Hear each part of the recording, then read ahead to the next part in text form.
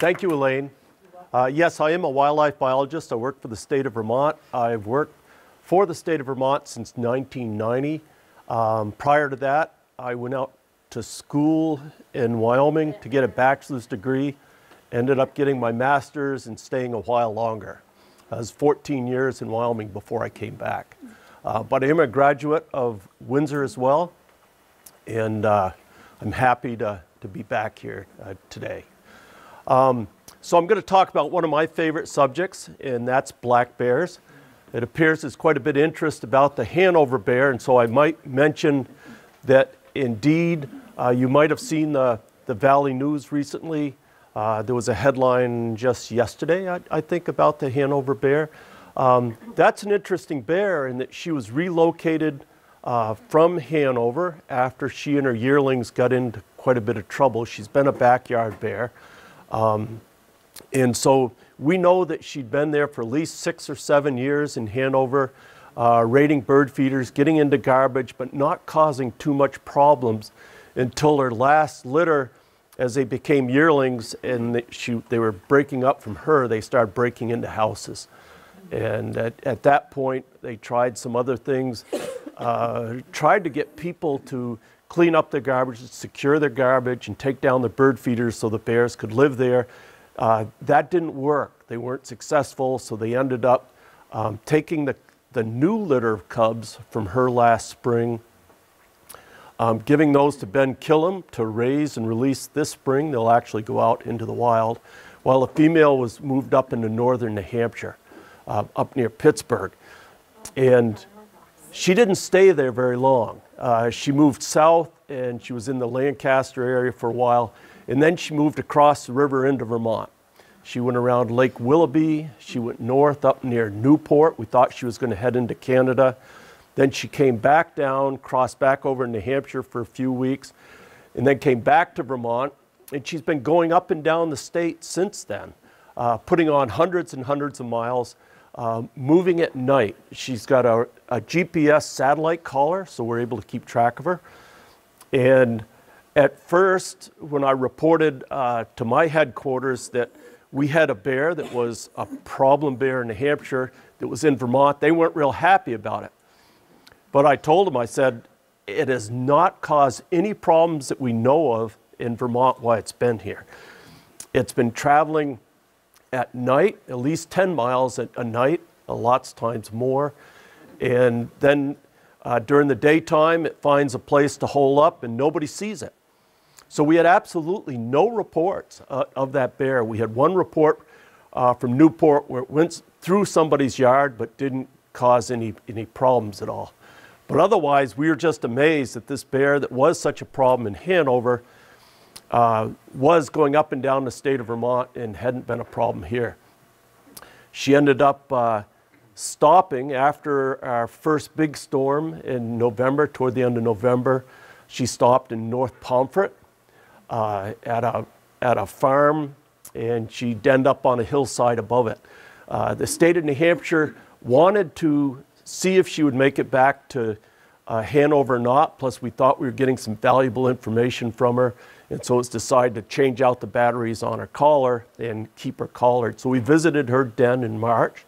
Uh, with the landowner, they came along to, to see that.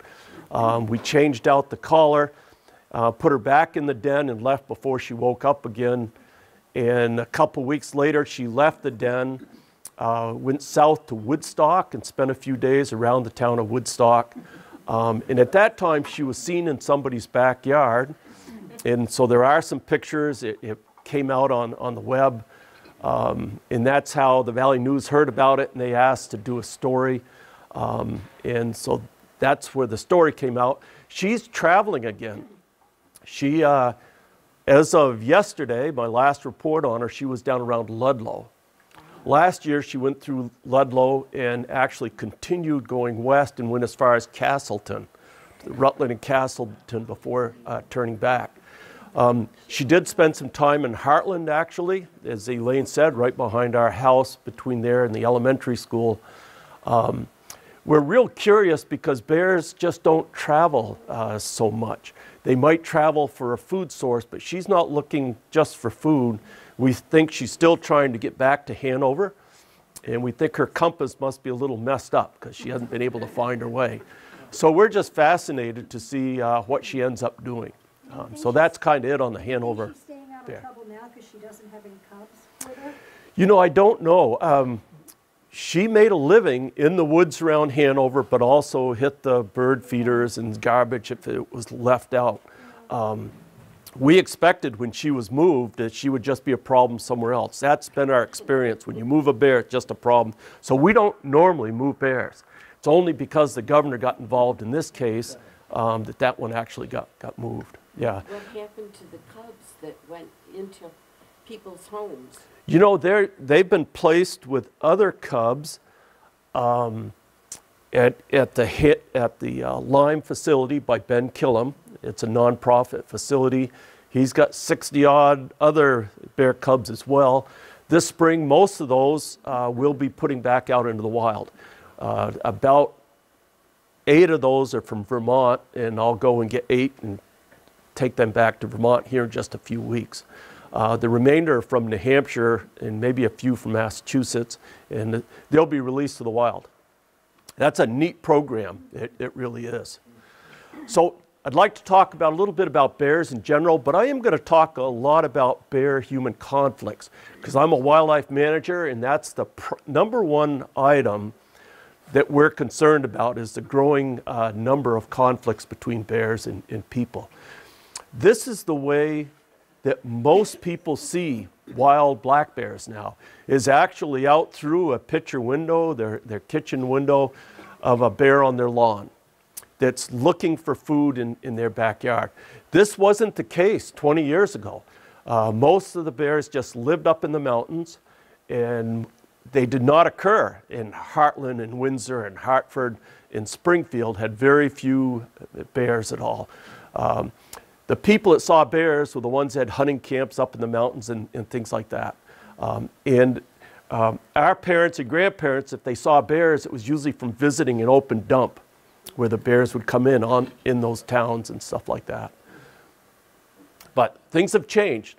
Uh, the bear population has increased. Uh, we allowed it to increase um, because the public told us in our management planning that they thought we could handle more bears. But the bears didn't just increase in the mountains, they, they spread out from that. And so twice as many towns now have bears as had uh, bears 25 or 30 years ago. So pretty much throughout the state except parts of the Champlain Valley. This is the animal here. Um, imagine most of you have seen black bears. Our black bears in New England are the eastern black bear. Uh, they're jet black in color. The only other color you see on them usually is brown on their muzzle. Um, the cubs have brown ear tufts as well. And about a third of the individuals have a white crescent, some kind of white on their chest as well.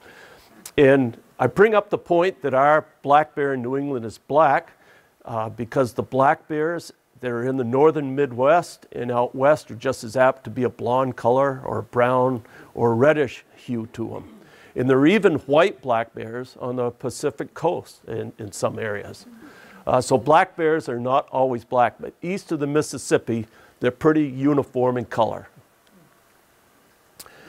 They, where you find black bears, the populations are different. The behavior is different, um, and also their size is quite a bit different. And it all depends on uh, what they have for a consistent food source and how people treat them as far as their behavior uh, goes. Um, the bear we have in Vermont is a smaller version of the black bear. Uh, adult males will get up to about 300 pounds or so, and the females are about half that size. Once they get over 120, 130 pounds, they have their first litter of cubs, often at the age of five or six, and they just don't grow much after that. All their extra nutrition, their extra energy grows in, goes into uh, feeding their cubs, making sure their cubs grow up, and they just don't put on much more weight. So the female is about half the size uh, of the males. Um, an adult female averages 120 to 150 pounds.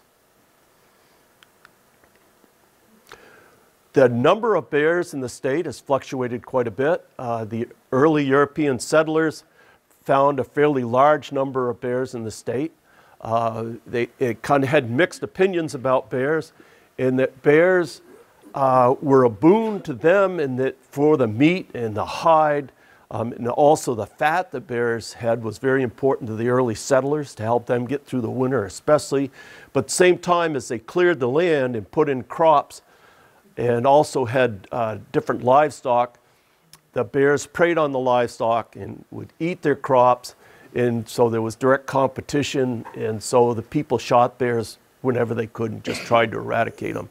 But the biggest factor was the clearing of the land. Um, as you probably know, in the early 1800s, sheep was a big industry, especially in this part of the state, but for most of the state as well. And so most all the forest was cleared. Black bears are a forest-dwelling animal, and without the forest, uh, they, the populations declined greatly. With only a few black bears probably up in the very highest mountainous regions, and it was very rare that those were ever seen, and when they were seen, whole, whole towns would turn out trying to kill those. The early, the early Vermonters um, obviously lived with black bears and probably hunted them to some extent as well, although not very efficiently. Probably the time of year that they could get the most black bears is if they could find a bear den in the wintertime, and then a large number of them surround the, the den and, and take a bear at that time. So the bears, early history of bears for most Vermonters was such that the Vermonters didn't really want them here and they actually placed a bounty on them. Right up until the early 1940s, there was a bounty on, on black bears. So it was a bounty at the time where hard cash was hard to come by. They could still get this bounty by turning in a pair of bear's ears. So as time went on, and we actually started to have modern hunting seasons, then the early population of bears, and this was pretty much the case uh, as I was growing up here, and, and most of you in the, in the state of Vermont, the bears were in the mountainous regions, the he most heavily forested blocks, up and down the central part of the state in the Green Mountains, as well as in the Northeast Kingdom, was where our populations of, of bears occurred. And we still have our core populations of bears in those areas. But starting with when we first started to do our management plans, and we went out to the public and asked how many bears people wanted, and the first management efforts that we had, people indicated they, they weren't seeing many bears. They were all in the mountains. They just as soon have more bears. Um, so we allowed that population to grow. And with that, now almost the entire state has black bears in that. And with the problems that come with trying to live with black bears, black bears like to eat the same type of foods we do. They do very good on our garbage, and, and their populations have increased as we've managed them, as the forests have returned to the state. Um, this map is a little bit dated, but it still gives uh, the idea of, of, how many bears we have. Um, Maine has the largest number uh, in the Northeast. They have over 30,000 bears in climbing, um, while Vermont and New Hampshire have somewhere around five to 6,000 bears in, in each of the states. Um, south of us in Massachusetts, the population is growing as, as well, and they've got several thousand uh, bears as well. Um, bears' biggest predators in the controlling factor of their populations are, are people, are, are hunters, and they're actually a tool we use for managing the population. In the state of Maine, where they're kind of dependent on non-resident hunters uh, with black bear hunting. That's where most of the bears are taken. They found they have a limited number of non-residents that come to the state hunt. They can't harvest enough bears to control their population, and their population continues to grow. Uh, in Vermont, New Hampshire, we still have uh, a, a, culture of hunting enough that we can just adjust our um, season length to take the number of bears that's desired. In Massachusetts, they don't have as many hunters, uh, and their population of bears is, is increasing. So, who are our bear hunters? Uh, it's mostly people that have grown up in families that bear hunt, that, that continue to bear hunt. Um, some of our other hunters, some of them would like to take maybe one bear in their lifetime, uh, and they do. We find that we've got about 65,000 deer hunters in the state. We find about only a fifth of those are, are bear hunters. Um, but even that number we feel is enough that we can, by adjusting the length of the season, we can actually uh, keep the bear population at a level that we desire it to be at. Bears are one species that we actually manage not on how many the habitat can support, as we do with, with moose and with deer, um, but instead it's how many bears will people tolerate. And, and it, that can fluctuate. Um, if someone gets attacked and injured badly, or if there's enough damage goes on or something like that, um, we've seen states like Florida, which do not hunt bears, suddenly have a season after five people are badly injured by, by bears and, and things like that. Um, so we know in Vermont that people like bears, they like to see them, but there is a, a, a tolerance level. And that's what we, every 10 years, we go out uh, and visit and, and try to determine what that number is. With black bears, probably more than most species, uh, their stomach, their appetite de- determines their whole world. Um, they're our second largest animal in the state. They're the, the largest carnivore that we have. It takes a lot of energy to keep one of these animals running, uh, but at the same time, they're not efficient at all at getting food during the wintertime. And so they've evolved to actually uh, go into a deep sleep during the wintertime. We call it a hibernation. It's not a true hibernation. But for five months of the year, they don't eat anything at all. They're, they're awake some of that time. They cycle in and out of a deep sleep, but they're just laying there wherever they decided to crawl under a fallen tree or some ledges or something. And they're probably thinking about food. Those five months are out there. Um, and when they come out, they might have lost a, a 25 to 30 percent of their weight uh, which is this time of year that they're coming out and they're searching for food. And first thing in the spring, they don't have much to eat. Uh, they're actually uh, classified as a carnivore, but much of the year they're eating vegetation. They're, they're more of an omnivore. They, one type of vegetation they like is clover, also sedges and early grasses they'll eat. Um, and a little bit later, when flowering plants come on, there's some that they like a great deal. Uh, a common one in our woods that is very succulent, they feed on right into the fall, is called jewelweed. And then we've got jack in the pulpit. The corm or root of the jack in the pulpit is almost like a nut. And they like eating that one a lot. Uh, but unfortunately, uh, this is a plant that occurs in rich soils at lower elevations and often around people's houses and stuff. So even when the bear is feeding on a natural food source, it's close to people's houses and can get in, in trouble if it's spotted. Uh, dandelions are favorite of bears. Sometimes you'll see them out in fields feeding on that. But they don't put on weight in the spring and early parts of the summer. They're just filling their stomach, surviving until a food source heavy on sugars or starches uh, occurs that they can actually start putting on, on more weight. The first berries, of course, are blueberries and raspberries, and they like those a lot. Uh, it's not until the, the berries that occur in clumps, though, that occur, uh, like choke cherries uh, and blackberries, that they can really start putting on weight. And once this food is available, they go through a process called hyperphagia where they actually feed almost 24 hours a day, just processing berries or nuts just as fast as they can. And of course, it, it's the nuts that they prefer that are heavy with fats and they do quite well with. Uh, a common nut for especially the south half of the state is acorns. Uh, unfortunately, we primarily just have one oak and it's a red oak. It's not, it's kind of a bitter nut, but the bears will eat it um, because that's uh, about all it, that they have. Um, they do like meat. They are classified as a carnivore, but they're not good at obtaining meat. And so they'll eat roadkill, they'll um, gut piles from hunter harvested animals, And in the springtime, they'll actually kill fawns during the month of, of June. But otherwise, they're just not good predators. And so they're eating insects like this one down in the bottom corner.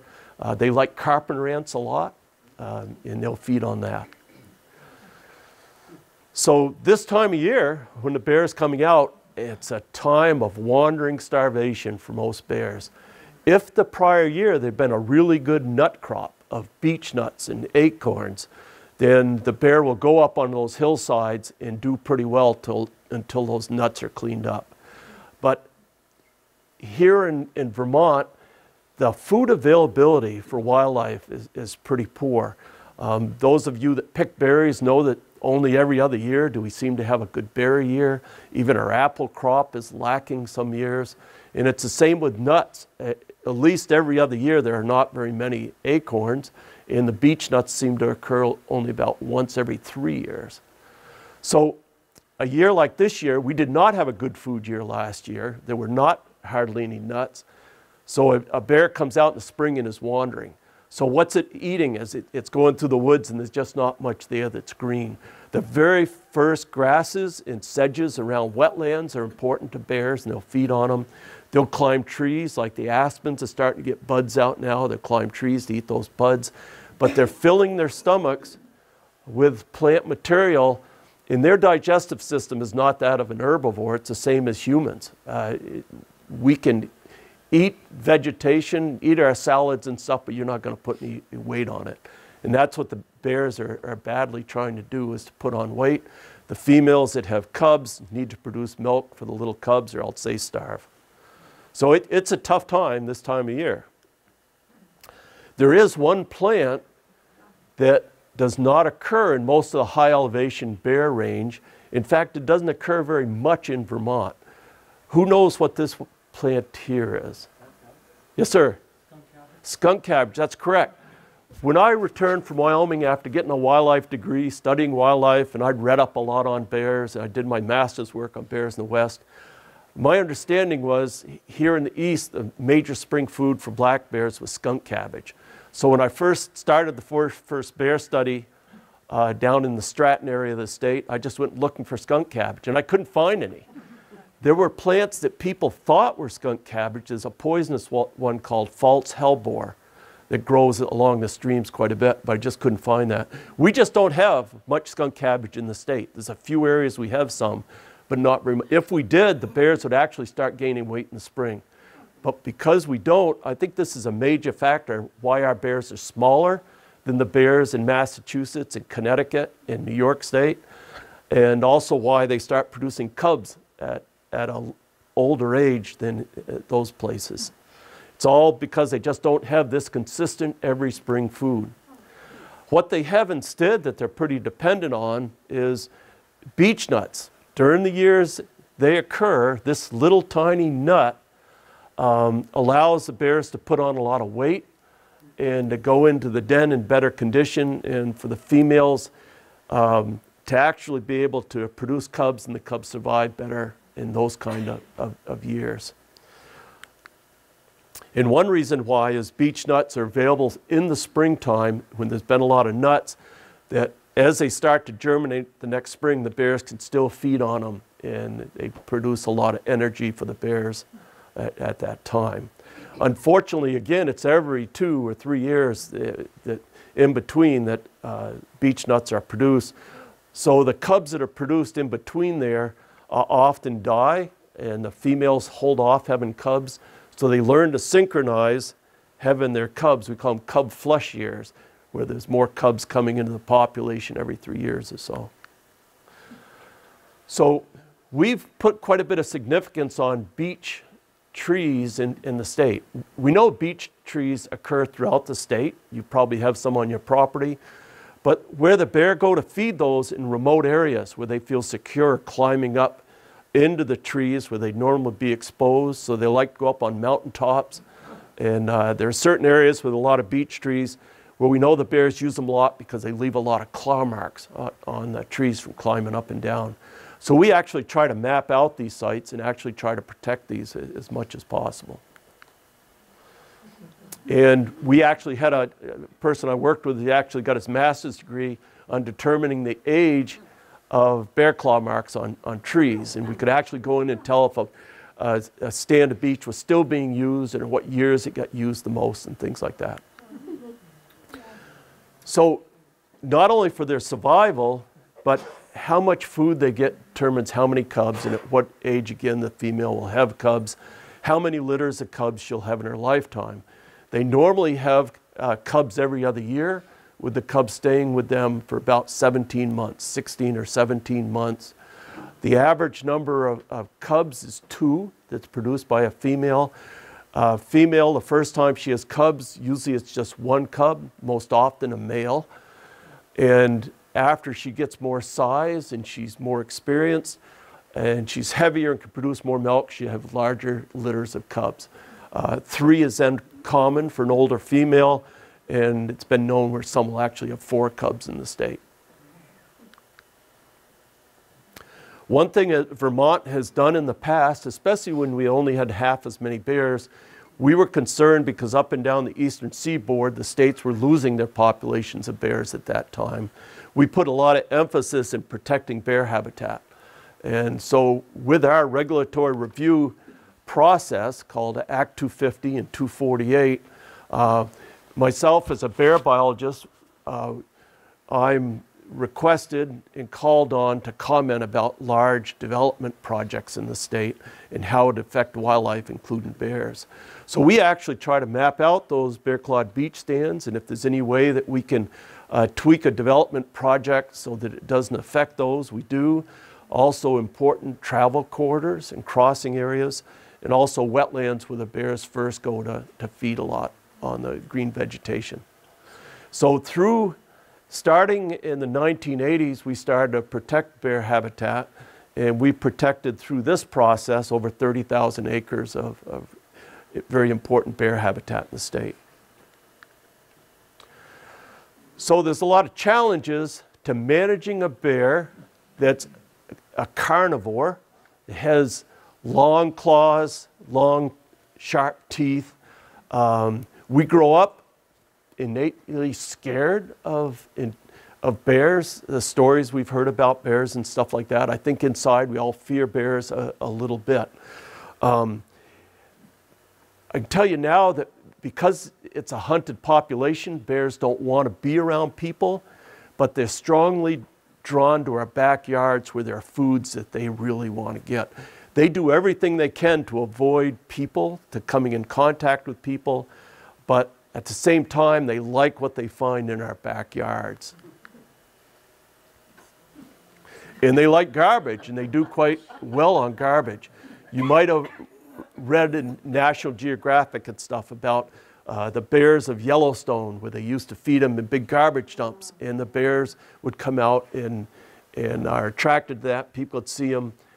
Uh, but the problem was the bears got so tame that a lot of people were being injured uh, roadside and stuff by those bears. They decided it wasn't good for the bears and they stopped doing that. Um, what they found was the average weight of the bears declined quite a bit after that. Um, and the population struggled for a number of years till they learned to live in the wild uh, again. And bears are very smart about trying to get our foods that we try to keep away from them. Um, we've always heard you can hang your foods in bird feeders to keep away, keep the bears away, but they somehow uh, find their way still to able to get those. They're very smart. It's one of our most intelligent animals. They learn what day of the week garbage is collected, that it's going to be sitting outside and stuff like that. In the national parks, so the rangers try to keep them away, they learn to uh, recognize the rangers' trucks and take off as soon as they see a ranger's truck and, and things like that. And what we find is one of the first things in our backyards that draws bears, and almost every young bear is tempted when it smells black oil sunflower seed and suet in our backyard. They're tempted to come in and get that, usually at night. And they're very timid the first time they come. And again, it's usually to, to sunflower seed uh, that they're attracted. We call this a gateway drug for the bears. it, it uh, enables them to be attracted, and most people, the first time into a bear gets their bird feeder and they actually see a bear, they're thrilled. It's not until they've had two or three bird feeders destroyed and they find uh, that it's creating quite a mess that they are get concerned. But normally, the first time I hear from these people is th- they take a picture of the bear doing it and, and send it to us asking if we're interested. And I tell you, I'm really sick of photos of bears getting into bird feeders because what they should be doing is just uh, giving the bear some kind of negative experience, just hollering at them, telling them they're not wanted. In the bear world, one bear easily scares away another bear, usually a bigger bear, but they just indicate them that they're not wanted. It's their territory. We can do the same thing with our backyard. Just your to- tone of voice hollering at a bear, a, a bear that just started on this type of life, uh, will get the message and, and move on. Um, it's those that have, are more experienced that they we have problems with. They don't want to move. I mean, I've yelled at a bear at my bird feeder before, and they just turn around and look at you. Like, Right. so what do you do then? And that's a bear, Protect my bear and my bird feeders down. sure. Um, well, that's, that's the big thing. Take down your bird feeders, make sure there's nothing. If a bear shows up, holler at them. anything else that you've got on hand would make a loud noise. If it was around the 4th of July, you had any firecrackers or bottle rockets or something like that. Um, if you had a paintball gun or a slingshot, something like that is, is very good. Uh, it's interesting that a bear that's gotten quite a bit of food this way is the most reluctant to leave. Also, the older bears, especially the males, I don't know if it's something they're trying to be macho or what, but they don't like to show that they're scared. So it's not that they're, they don't know you're there or they're not paying attention, but often when you holler at them, they'll just stand there for a while or walk around and then leave. The key thing is they left. It disturbed them and they left. They know you don't want them there. If they're getting a food reward, they'll keep coming back. But if you do that a few times and they're not getting any food anyway, they won't come back. They'll, they'll move on. Yeah. A bear's nose is supposedly uh, at least 10 times better than a bloodhound. And they can smell suet and black oil sunflower seed from well over a mile away, probably. So they may be attracted to uh, other plants growing near your house, nearby, along the brook or something, but they can smell that and they may try to, to get that black oil sunflower seed. The reward is tremendous. Uh, three to five pounds of black oil sunflower seed has more nutrition for them than they could gain foraging in the wild this time of year in a whole day. So you can see where it's very important to bear and, and they desire very much to come in. Once they start coming in for bird seed, they'll start checking out your backyard for anything else they can find as well garbage, pet food. Are there chickens? Are there beehives? And they'll start checking out the entire neighborhood. And all it takes is one food reward a night that they will continue to work your, your neighborhood. So it's not just a problem you're having, it's a neighborhood problem with that bear. So the best thing is report it, let your neighbors know it's time to take down their bird seed and secure their garbage better. I think most everybody that raises bees now knows you need to use electric fencing, right, John? Or the, the bears will come in. And actually, it's getting to be the same with chickens. Uh, that the best thing you can do to protect your chickens and keep the bears away is to use electric fencing. It's, it's not so much uh, the amount of honey that a bear gets, it, it, it knocking over your hive, you lose your queen, you've lost that hive for the entire year. Um, so it is pretty serious. But again, most beekeepers have learned that electric fencing works. Bears can be quite destructive with that. And once they learn of that food source, it's such a rich food source, uh, often the bear ends up being dis- destroyed. So the key is to have that electric fencing up uh, and to give them a, a negative experience and they don't continue on with this lifestyle and usually end up getting destroyed.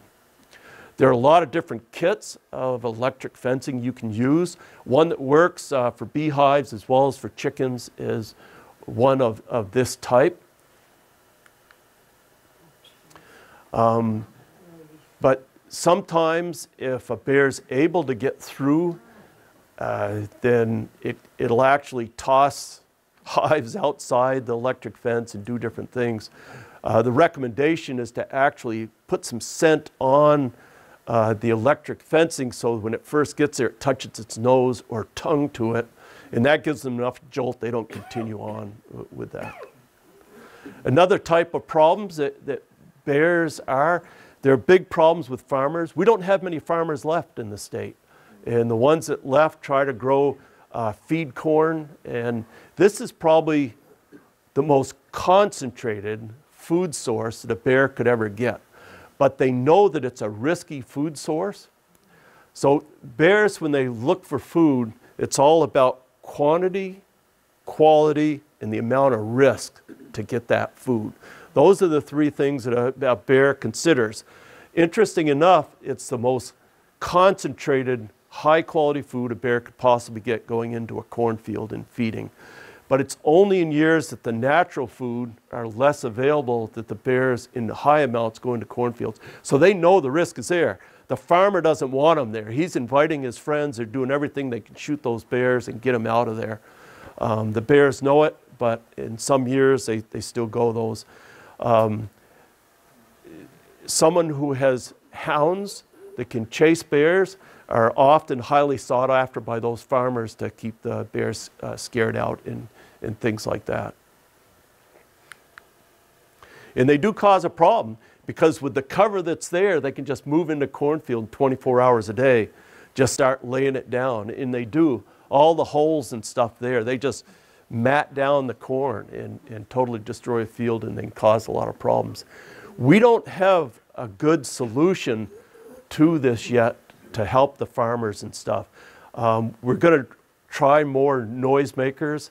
Uh, one thing I want to experiment is with the use of drones, whether or not you could use a drone to fly over a field and see one of those openings with a bear and swoop down and chase it out or not. So we are going to, there's a farmer in Bridgewater who every year has problems with bears because his fields are surrounded by woods where bears live normally, and so the bears easily attracted to his fields. Um, he says that he'll go out of business if he can't do something about the amount of, of damage and stuff, so we're trying to work with him. So once bears start coming to your neighborhood, um, if there's no bird seed, the next thing is garbage. And most people make it pretty easy for the bears to get the garbage. Uh, the bear just walks up to the garbage, especially if it's put out the night before. Uh, so during the, the nighttime, you'll look out and just see bags of garbage strewn all over while they're in there looking for those chicken bones and T-bone steaks and, and stuff like that. Um, so you can have better containers. You can place your garbage out uh, the, the morning of pickup. You can secure it much better to keep the bears from doing that. The modern dumpsters with the plastic lids are not much at all to keep bears uh, from entering. As I said, bears love garbage, they do very well. Um, your dumpster company has uh, stronger uh, dumpsters. They have ones that metal lid. Uh, they have ones that can, with a metal bar that can be locked down until they come. So there are some that are bear proof or at least bear resistant. A really big bear that's used to getting in is tough to stop, and, and it is very much. Um, but for most of them, we, we can keep the bears out. Uh, dumpsters like that are pretty bear proof. Uh, ones like this, uh, not so much. One favorite uh, thing of mine is if I get a complaint from a campground or somewhere with his dumpsters, to get an idea of the extent of the problem and who's causing it. It's kind of neat because the bears usually come at night when there's damp vegetation they're walking on. They walk on the gravel, stand up, put their paw on the side of the metal. And you just go look, what, what are the size of the paw prints that are there? It tells you if it's an adult, if it's a real large adult. It even, the little paw prints down low will tell you it's a female with cubs you're dealing with. What I especially like to find is fairly small single set of paw prints on it, which means it's one of those juvenile male bears that's just left its mother and trying to get in problem. They're, they're easily swayed by a negative experience, and those are the ones we like to try to work with. What some uh, subdivisions have done, because we make it a permit requirement now of subdivisions, uh, especially in, in forested areas of some towns, that they have to make sure the bears can't access garbage. So some of them have come up with innovative ways. This is like an old freezer that's padlocked shut, and they can keep their garbage in there until it- it's picked up and stuff. And those type of things work. Um, there are more primitive means for keeping bears from getting in. This is a, a bear begone mat. It, became famous pretty much up in Canada and Alaska where they've got grizzly bears in remote cabins that they leave for part of the year and the bears would break in and, and just devastate their, their cabins. They found by putting nails and screws uh, in a sheet of ply- plywood and putting it down, the bears trying to get up would pinch their paws and that's enough to convince them not to get in. So even something like that works, but you have to be careful that you don't hurt somebody as, as well with it. It seems cruel, but uh, it's better that they actually hurt their paws a little bit than actually to come around those areas where they get hit by cars on the roads or somebody uh, to get rid of them, maybe shoots them or, or something like that. So I mentioned earlier that the juvenile males, those 17-month-old males, are the biggest problems. They're the ones who aren't scared of, of humans yet, and they often will come around and tentatively at first, they'll be attracted to your backyard. You can tell those because they look like they weigh less than 100 pounds. They look long limbed, have long ears, and a long, narrow face. Um, and most of those only weigh 50 or 60 pounds, even though with their long hair, that they look more. And they can be easily scared off. Those are the ones that clapping and hollering usually work really well with. Uh, Bears are attracted to chickens. Often it's the chicken food and chicken manure, the smell of that, that first attracts a bear.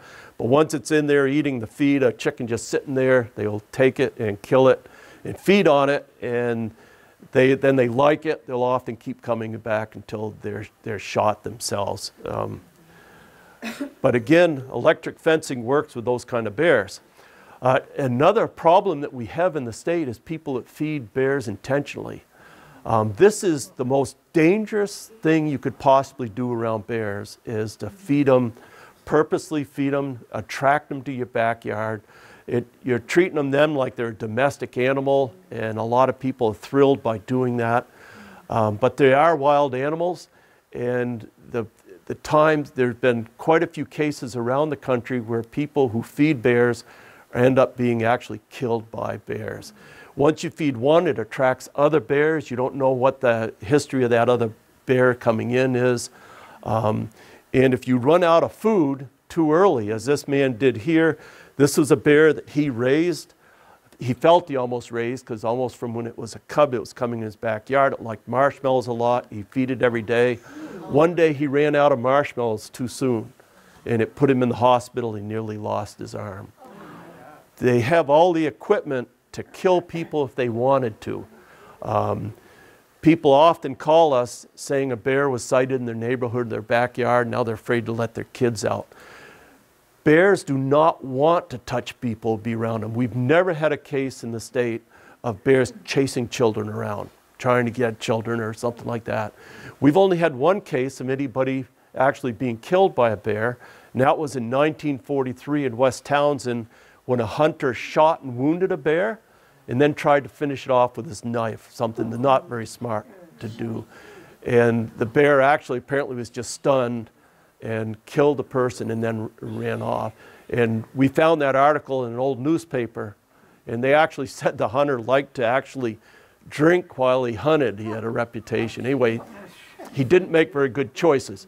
Uh, but that's the only fatality we know of, and the only two cases I know of someone actually getting clawed or bitten in the state were both people feeding bears who'd been warned not to do it. And they just kept doing it, and they got in a position where, that after a while, the bears try to break into your house to get the food, go to the source of the food. And people at food feed bears often have to barricade their house, put electric fencing around it, they board up their windows and everything else. And that was the case of the person last year who got bitten. She'd been fined a couple times and warned to stop feeding the bears.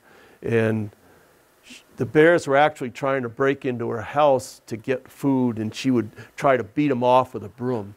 And one just reached up and got her arm and, and clawed her up. Yeah, that was in Shrewsbury uh, last year. It's actually quite a nice woman. She really likes wildlife a lot. She's an elderly widow. Um, she just can't stop feeding the bears, but maybe now she will since she was injured by them. Um, if you ever travel much and camp much or hike and things like that, then it's especially in grizzly bear country, you should know everything you can about bears, especially if you're camping out, and what's the difference between black bears and grizzly bear and the behavior. And actually, the best source of information is this. It's got a terrible title, Bear Attacks, um, but this is a professor, Steve Herrero from the University of Alberta, actually put together case histories from all the national parks about people that had been attacked by bears, who survived and who didn't, what they did right and what they didn't wrong. And he tells you what to do in every situation.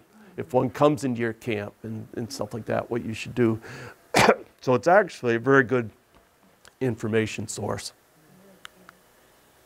We also have a wonderful book here produced by wildlife biologists about what to do in any black bear situation where bear comes into your yard or camp or when you first sight one and things like that. And it's a very entertaining book. It's very good. Uh, it doesn't cost very much. I recommend highly that uh, you encourage your library to get a copy if, if you could. If anyone here works for the library, I'd actually give this copy to them. Do you work? Great. All right. I'll have it for you. Yeah. So, bears in your backyard. This here is a fairly young bear. It's, it's lanky, fairly long uh, eared, as I said. Um, it's coming onto a, a porch. Um, again, from a window, from your doorway, clapping your hands, hollering it, letting us know it's not wanted is a great thing uh, to do. Uh, one thing, someone actually sent me this picture and I kept it because I, I just think it's a pretty good picture. And I hadn't noticed till later that over in the corner, there's actually a composter there, a commercial composter, heavy plastic. Uh, we're all being encouraged to start composting now. By 2020, it's going to be required that we have to do something with our kitchen waste besides uh, uh, sending it to, to the dump with our regular garbage. Um, tumblers, uh, they're heavy plastic, are actually pretty bear resistant. I'm getting more and more reports of, of bears when they're in someone's backyard uh, going to the composter and causing problems. This is the bear, the, the young yearling, 17 month old. The expression on his face is he's actually very timid. He did come on your porch, but all you'd have to do is take a step toward him and holler at him, and he's out of there. And that's enough negative experience. He might decide people aren't a good source of food and, and feed more in the wild and, and things like that. Uh, ben Kilham, a behavioralist who has studied bears quite a bit and lives in Lyme, he goes a little further. Um, my boss tells me I'm not supposed to tell people to do this, but he said in the bear world, one bear will claim dominance over another bear by looking it straight in the eye and then walking at it. And he says, That's what you should do with the bears in your backyard. My boss says, I can't tell people to approach bears in their backyard, and I shouldn't. But a young, timid bear like that, they're easily scared away, and you could at least take a step toward it and stomp right from your doorway or something like that, and that, that would scare it away. Something we're hearing more of, and, and bears have a way of getting in trouble uh, and causing problems. Uh, sugar, they're getting to be more and more sugar makers in the state. They're using the sap lines, even the lighter lines than, than this one. In wildlife like to bite the sap lines. Apparently, there's a little leftover sap and stuff in them, and it's something of a problem. And ev- even with bears, uh, it is. Um, squirrels probably cause the most problem because they'll just take one bite and leave. But even coyotes are, are doing it. So we're starting to get uh, more complaints uh, about that as well. If you do a lot of hiking in bear country, especially if, if you uh, visit the national parks where there are brown bears and things like that, the big recommendation now is to carry a can of bear spray on your pack, on your belt, and learn how to use it. You can, there are all kinds of uh, YouTube videos and stuff of, of using bear spray and how it works. It's, it's, it's not mace, instead, it's, it's developed to hang in the air to be a cloud, where mace is something that people, you try to spray into the eye of, of people attacking you. Um, with bear spray, you put a cloud between you and the bear, and the bear coming toward you suddenly is overwhelmed by this ground up capsaicin, which is very powerful. It'll stop a charging grizzly bear or polar bear.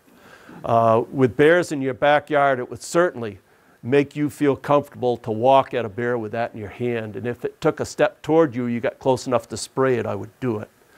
Um, it puts you in command of any situation if you're in a campground or anything else with as a bear.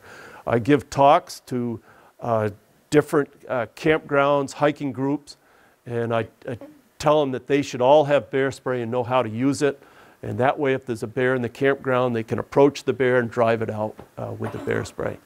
It, there is a, the right way to use it, and if there's any wind that's blowing towards you, it could be just as much of a problem for you as it is for the bear if you use it wrong. So there, there is a right way to wrong way, but boy, if you've got a lot of bears coming around your house and you're concerned about them, and I've had people say they're afraid to go out after dark and stuff. Uh, the big thing is to just make some noise. The bear will move off. It does not want to encounter you either. Um, but if you want to feel safe while you're walking or something like that, then uh, spend $50 on a can of bear spray with a holster, and uh, it, it works. Do you get it at uh, Runnings? Walmart? Runnings would have it. Most sports, sports goods stores would, would have that, or you can get it over the internet. Um, I give this talk quite a bit to the state parks, and just one quick story here. Um, this one park, the Jamaica State Park, was having some problems with a bear. They asked me if I'd come down, I did. And I gave the talk about identifying a juvenile bear, and if it is, to be very aggressive toward driving it off. And at that time, that was enough years ago, I don't think we had bear spray. Um, but I gave the talk, and a few days later, the ranger called all excited and he sent me these pictures. They had, I- I'd showed them when I was there about with their dumpster that they had a juvenile bear coming in and they should be aggressive toward it. Well, here, uh, the juvenile bear showed up a few days after that. Apparently, there was a pie in here on a picnic table. The people ran and got the ranger. The ranger goes, Oh, here's our chance. He looked around. What could he have to scare the bear? And lo and behold, oops, he picked up a fire extinguisher and just walked at the bear, spraying it. It didn't ever touch the bear, but the sound of it, the vision of it, the fact that the ranger was aggressive toward it, scared the bear off, and that took care of their problem for the summer. He was pretty proud. The ranger was pretty proud of that. As I mentioned earlier, we do manage bears in the state, and we manage uh, based on the number of animals that the public in general would like to see in, in the state. Of course, you don't know how many bears we have. We estimate that we have between five and 6,000 bears. And our previous uh, management plans, that's been the objective that we set was 4,500 to 6,000 bears. We thought we could keep it in about that range. Um, so every 10 years, we go back out to the public, and we're doing that again now, on how many bears you would like to see out there based on how many you perceive is there now. Do you like the number apparently that are there now, or would you want less or more? Knowing that if you had more, uh, that you're going to have more conflicts and you're going to have to learn to live with bears. You, people do in areas learn to live with bears. Um, and they're not a problem. You can see more. But again, it's harder to change the behavior of people than it is of bears. In, like in Hanover, the people of Hanover said they wanted to live with that bear, with mink. But there were just so many eggheads out there that wouldn't take care of their garbage, wouldn't take down their bird feeders, that she continued to be a problem and they finally had to do something about it. Yeah. So that's the point we're at now. We've got surveys out there. You might see some hearings, a local hearing where we talk about our big game management plan. We encourage people to come to let us know how they feel about that. Our goal is to have wild bears out there. You know, we have the public lands in the state now. We have over 800,000 acres of public lands. We've got a lot of conserved lands as well, uh, where the bears can be wild. They don't have to come into our backyards. And that, that's our goal is to have wild bears. I also encourage you, if you have a visit from a bear, to actually get on our website and report it. That allows us to monitor a bear in a community, to assess the amount of risks there is to people and how much damage it's causing, whether or not we have to take any action behi- beside just recommending to people that they secure their garbage and take down the bird feeders. So you can just go to that website. Yes? You say it's per incident, so that there's a problem or just that you cycle? Um, you can do either, because it actually has a place on, was this just a sighting, or was there any damage, or what was the bear doing? The, the best thing for me is, is a segment asking t- to briefly describe what the bear was doing, and that helps me know what's, what's going on. If I think there's any uh, risk involved to people, the bear's getting a little too aggressive, I'll let the local game warden know, and if it's certainly a lot of damage occurring, we'll take some kind of management action with that bear. So that's actually the best way to get a hold of us, is to do that. Although if you are scared for your lives for what's happening, call the state police, they'll contact your local game warden, and he'll certainly be there right off. Um, boy, this doesn't show up with green very well, um, but we do plot the uh, reports we get from the public, and we found this clusters of, of these uh, up in the Montpelier, Barre, Warren, Fayston area. We have the largest number of people reporting problems with, with bears. Uh, another big problem area for us is Killington, uh, the resort areas. You might even seen uh, it made international news where bear walked down a hotel lobby at, at Killington this last year. Uh, they'd been getting into the dumpster quite a bit. One wandered inside the building and, and stuff. I actually had a call from England where they wanted to do a report on that bear after they'd seen it. They wanted to do a story on it and stuff like that after. Um, so we keep track of these areas, and what we're trying to do is we've got a list about eight communities in the state that have large numbers of bear issues. And so I'm working with our outreach department, with our game wardens, to try to uh, do more information sessions with those towns. And the closest one to here is going to be Killington. I'm going to be working with the town of Killington and, and stuff with that. So, with that, if there are any questions, we'll answer those. Yes, Elaine? I know it's a problem with the grizzlies out west. Is there a problem with keeping food in your car, or they have to ride your car getting into food? Um, I wouldn't store food in your car if you had anything else you could do. If the bear's already coming into your yard expecting to get food and the only place is in your car, it'll try to get into it. Um, there was a story of a man in Barnard who had not seen any bear and wanted to, had heard there was some in the neighborhood, so he started putting uh, food on his deck to try to attract it so he could see it. Uh, but he he also had left some in his car, and he had a BMW. And a bear came and actually wrecked his car trying to get into it. So yeah, the bears learn uh, in Yosemite Park. They used to tell them to store food in, in your car, and bears would learn to break out the back window to get into your car. So now they recommend you actually not store food there and you roll your windows down So, Yeah. Um, so instead, uh, put it in a shed. If you've got uh, garbage, a lot of it or something, where you store uh, um, some kind of lock box, a truck box, or something like that, certainly would be good at storing it. Yes. Any other questions? If not, thank you for coming. Yeah, I've got information up back and stuff, some flyers. Yes.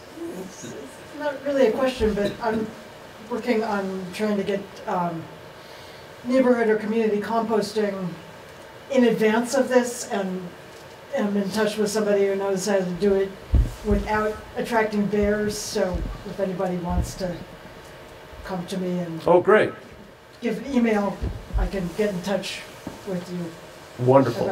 You know what, I'm very uh, interested in composting. I've been attending some, of- some of the meetings with DC and, and uh, the the different communities and stuff on that. And there's a right way and a wrong way to compost around wildlife. And if you do it wrong, just putting stuff out in your backyard, you're gonna attract skunks and raccoons and rats and all kinds of stuff. And that is being done around the state that way.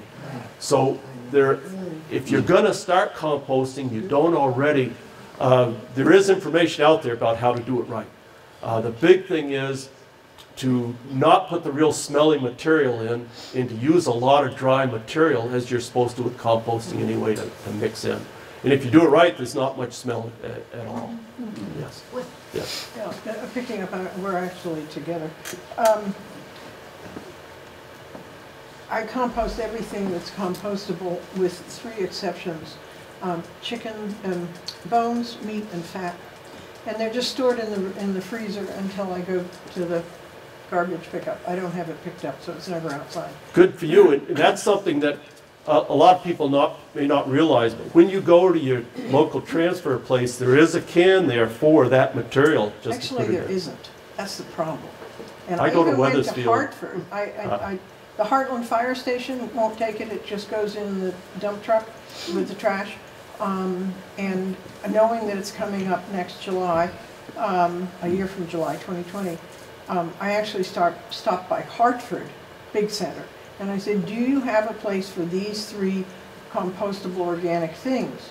Um, I am concerned, I have seen a bear in my area, so I'm very careful to try not to attract them back.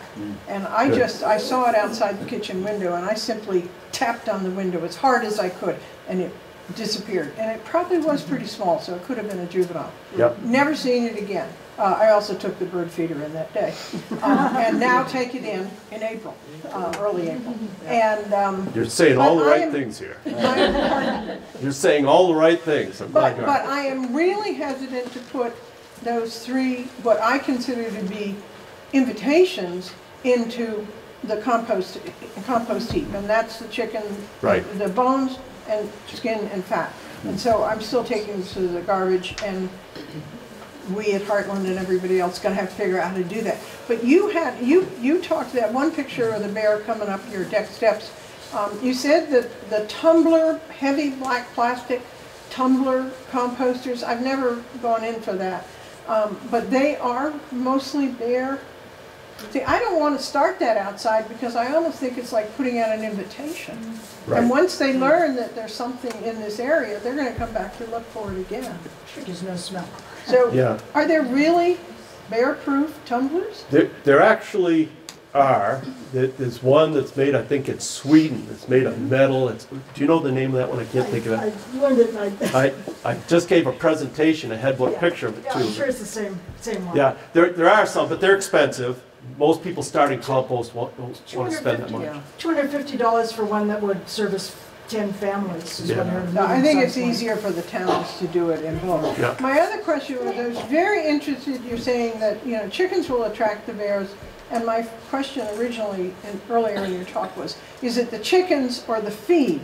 Subsequently, you answered that question and actually said, it's the chicken, it's the feed and the manure. Mm. So all my chicken mm. manure goes in the compost heap. So I, am I in fact putting out an invitation by dumping all the, the chicken manure in If, the if you're using enough dry material in Yeah, there, it the- it shouldn't be much scent. Um, And I think kind of a rule of thumb to go by, if, if you hear of a bear in your neighborhood, that's something you should share with your neighborhood if you've mm-hmm. got a visit. Because a bear can go five miles in a night checking every backyard. So um, share it with it. If you hear of one in your neighborhood, that's a time to look in your backyard and say, what possible smelly things? could- It's a good time to mix in dry leaves and, Yeah. and more dry stuff with you. Yeah, but there are, um, I'm just learning about composting myself, and I took a class last year and stuff and learned a lot. And then I've been working with the people that put the material out about it as well, because I, I wasn't satisfied with what I heard at the class. They kind of discounted problems with wildlife, and I said, but I'm getting 100 calls now. In the last three years, I've got 100 calls from people with problems with bears and composting, so I know it's a, a, a problem and stuff. Um, so some of the heavy plastic ones that are cheaper are at least bear resistant. Uh, everything but a real big bear, probably keep out of. Uh, and a lot of them will screw in or something like that. One thing that would not stop a bear is the uh, square ones that are very light plastic. A bear could just knock those over. And unfortunately, at the class I took, they were promoting those and even selling them at a discount out back. And I said, boy, that's not gonna, that's no problem for a, a, a bear. But the big thing is just to do it right, there's almost no odor. Yeah, being careful again what you put in and how you do it. Uh, down here. May I ask, please, how old bears get to be and when do the females stop producing babies? Well, um, it's not an easy thing to answer. Our oldest bear that we know of that we had in our bear harvest, because we pull a tooth and age each one, was 39 years old, which matches the national record for the oldest bear to be in the harvest. But most bears in the wild, their dentition breaks down, their, bear, their teeth get badly worn or broken uh, by the time they're 15 or 20. So they usually don't live much past their 20s. But bears in captivity, like if you've ever been, been to Clark's Trading Post, where bears are raised up from cubs there, they train them to play basketball and stuff like that. They feed them dog food and stuff, softer food, and their bears live into their 40s. So they can live longer, uh, but in the wild, it's a rough life, and they, they normally don't. A female will have cubs, boy, probably until she's 20 or, or so. In that last 10 years is probably when she's the most productive as well. She's bigger, she's more savvy, she probably has more cubs that survive. Yeah. Mm-hmm. How old is Yes, the sir. Is is there ever, is there, I haven't, I haven't heard of this myself, but I've never even seen a bear in the wild. Is there a problem with bears attacking household pets? I'm thinking specifically dogs. Um, I haven't heard any cases of bears attacking cats, but bears are ancestral enemies to all canids, including wolves and coyotes and dogs. Uh, wolves, I'm sure, could kill uh, many uh, bears, especially a pack of wolves could. And historically, they probably pulled them out of dens and stuff like that and killed them. I saw a film one time of a female with cubs crossing a meadow, and a pack of coyotes ran up, and one distracted the mother, and another one grabbed a cub, and they, they ran off, so they can actually kill them. pretty- So bears dislike dogs and coyotes and everything quite a bit. Um, uh, bears are also hunted with hounds some, uh, which actually keeps them more wary of people and stuff. We think it, it does that. Um, so they don't like dogs. So if you own a dog in your backyard, you- probably help keep bears away. Um, but at the same time, bears can uh, be really irritated by dogs, especially yapping dogs. You know, the little yapper dogs. Uh, three or four years ago, we actually had three different dogs that were killed by a bear. I had not known it to happen, and I haven't heard of it since. Um, but they're all cases where a small dog ran barking up to a, a bear and jumped at it, and the bear just killed it. It wasn't attacked by the bear, but it was killed by the bear. Um, so it, it can happen. Uh, a few weeks ago in Hartford, in, in Quechee, I think Tall Timbers Campground, a mobile campground, there was someone who left their dog in their car while they went inside somewhere. Bear apparently came by and the dog barked at it and the bear smashed out the windows. It didn't, the bear was, uh, the dog was cowering in the bottom of the car when she came back out. Uh, the bear was, was gone. And we're watching that very closely. If that bear does any other damage, then we may take that bear and, and remove it. Um, but it apparently hasn't been a problem since. I haven't heard any more reports. And interesting, and it's good to bring that up about dogs, because hiking with dogs, or it, it can be a dangerous situation, even more so in grizzly bear country, but also black bear, in that a dog that sees, a, say, a sow with cubs on the trail ahead of them will run, often run up barking at it. To protect her cubs, the sow will run and chase the dog. The mm. dog comes back at its owners. Mm. And there have been cases where people have been injured by the bear. Not usually killed, but bitten or scratched by that bear. In, in fact, 75% of the cases in that book of people being injured by bears involve dogs. So if there's bears in an area, there's a lot of berry patches or something along a trail, one recommendation is either don't take your dog with you or take it on a leash or just have it under control. Uh, You don't want it running at a bear because it can cause a lot of issues for you. Yeah. When Back- is it safe to, um, put your bird feeders back out? It's safe to put your bird feeders back out after the first heavy snowstorm that stays on the ground. Uh, we use the date of December 1st, but actually, if there's no snow on the ground at that point, it could still be bears uh, out and about. Yeah. When do the bears start hibernating? The bears start hibernating uh, when they can't get food very much in the fall. Uh, In years like this last year, where there were almost no nuts available and very few apples, uh, the female bears, which are the first one to enter dens, the females that are going to have cubs, they find a good den and enter first. Uh, they'll den as early as October. In this past year, a lot of them did. Uh, the male bears will stay out longer, usually until that heavy snowfall. Um, in a year that there are a lot of beech nuts and acorns, the bears will try to stay out, even if there's six inches of snow, they might be out feeding on them. Yeah, so it all depends on whether or not they're able to get food. Yeah. And the first bears out in the springtime are the male bears. If a female has cubs, then those cubs are so small and fragile that she'll stay near her den and not move much. While a male will come down, those are the ones usually your feeders in April and stuff, are, are male bears. Mm-hmm. While a female is sticking close to her den. Hmm. Yeah. A, a female now, uh, probably even now has not moved very far from her den. She might go 100, 200 yards, always keeping a big tree that's easy to climb very close by because the cubs can climb up when she tells them to and stuff. Hmm. But coyotes, foxes, fisher, bobcats could easily kill those cubs at this point. Well, thank you very much. You've been a good crowd. I've enjoyed it.